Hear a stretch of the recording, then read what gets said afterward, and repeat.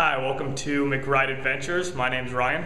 I wanted to show you our first stay in uh, on our adventure. Here's the hotel we were at last night. As you can see, decently nice, all for 150 pesos. There's Jonathan getting his pack ready. Uh, we're gonna leave for the case today and somewhat happy to get out of here. Uh, as we were crossing the street from the bus station yesterday, crossed over three used needles, so kind of sketchy. Sorry, mom and dad. Um, but for, like I said, 150 pesos, this can't be beat. Talk to you then.